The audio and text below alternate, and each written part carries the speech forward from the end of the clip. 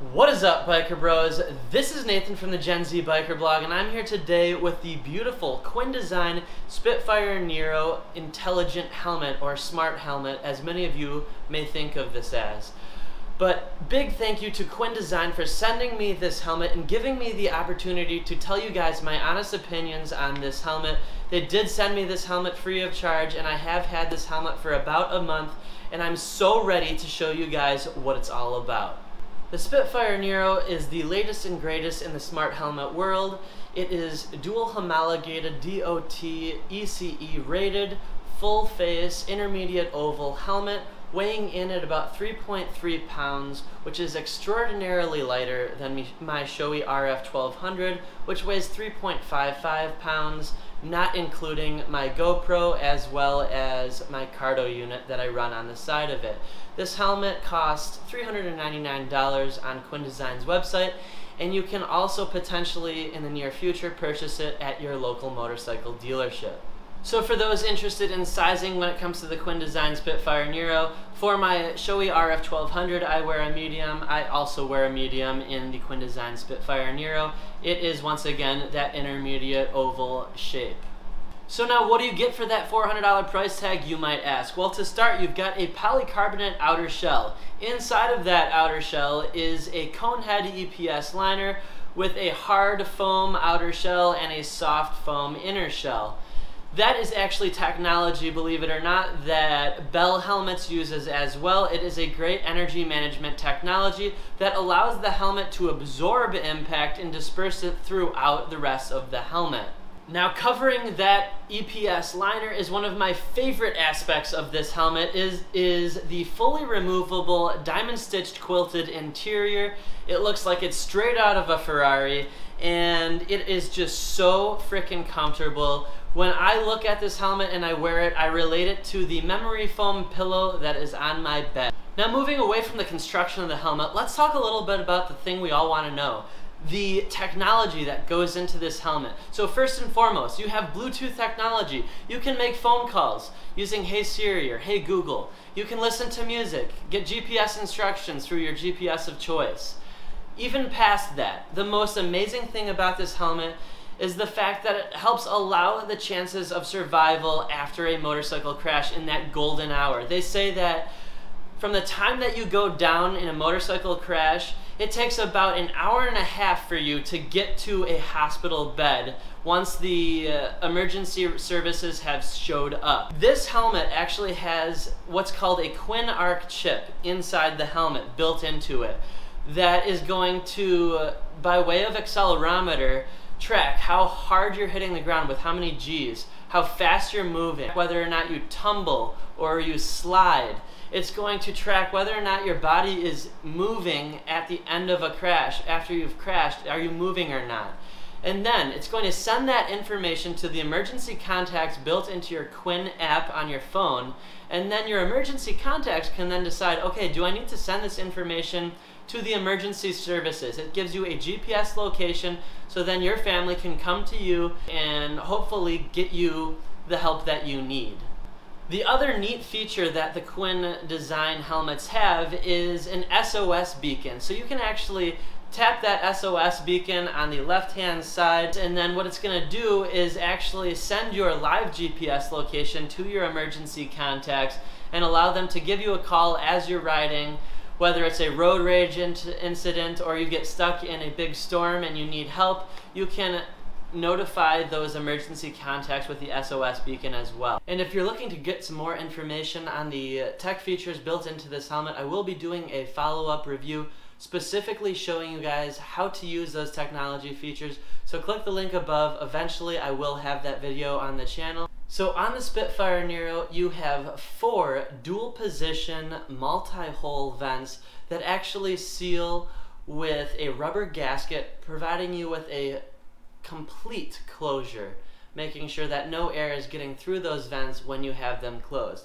So to start, you have two at the bottom, sliding back and forth, and then you've got two at the top. Simply tap the back, the front of the vent opens up, really easy to open and close with big bulky gloves on.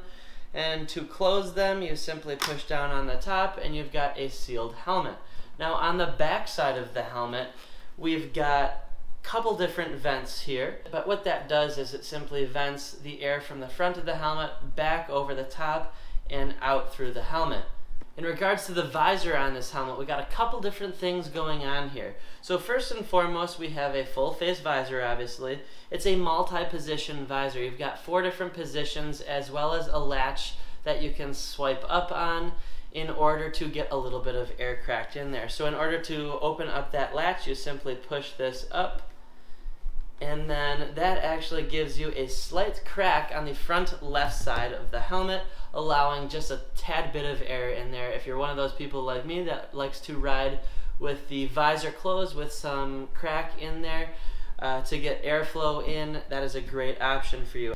If you are looking to add a smoked visor onto here, we do have a smoked visor um, in front of us here. You can check out Quin Design's website to purchase one of those. There's going to be a link in the description below to this visor as well. But opening up the visor, you also do have an option for a drop-down sun visor. It is a smoked shield, so there's a latch on the side here. You simply swipe that up, and that drops down a tinted smoked visor. Simply push that down again to bring that up. Now, many of you might be asking yourself or asking me, can you wear sunglasses or prescription glasses with the Quin Design Spitfire Nero on? The answer is yes, you can. I do actually have thin framed metal uh, prescription glasses and I can fit those just fine. Um, but if you're simply looking to wear sunglasses, you might just now decide you want to use the drop-down visor. Before I show you how to install the new visor, we're going to take a look at the bottom of the helmet once again. So you'll see here we do have a ratchet system instead of the traditional D-ring. Really easy to get off when you have big bulky gloves on. And then also at the top of the helmet, you're going to find this little red pull tab. You pull that out and you have your charging cord as well as the cord that you're going to use to update the software in the helmet. Um, there's going to be software updates about three to four times a year according to Quin and then that simply tucks back up into the back of the helmet. Now in order to get the visor off of the helmet you're going to want to open it to the max open position. What you're going to do is you're going to pull this lever towards you. Then you're going to pull the visor towards away from you and then it snaps off. Now to put it on, you're simply going to wrap it around the back end, pull the visor towards you, push this button towards you, and then your visor is on. If you want to throw your clear or your smoke in your backpack while you're riding out for the day, it's very easy to put on and off if need be. The windscreens that Quin Design offers are anti-fog lenses, but if you are looking to get a Pinlock ready lens, they just did finish their Pinlock project and those will be available on their website very, very soon. So stay tuned to their website as well as their social media if you want to get your hands on one of those. So what do I think of the Quin Design Spitfire Nero? Well, I love it. It is an absolutely amazing helmet. I would give it a solid 8 to an 8.5 out of 10. The design of this helmet is seamless. The diamond stitch interior is really comfortable and beautifully done. I like the matte finish. When it comes to the construction of the helmet, it is made extremely tight and really knit together very well. I feel really at ease, great peace of mind while I'm riding, knowing that I have the ability to use that SOS beacon and have the crash detection technology behind my back. In terms of downsides of this helmet, I think the one downside of it is that it is a little bit noisier. It does vent a little bit too much wind when your vents are closed, in my opinion. I think that might be due to the slightly shorter chin curtain in comparison to like my Shoei RF 1200, or potentially just maybe not the best seal um, alongside the visor.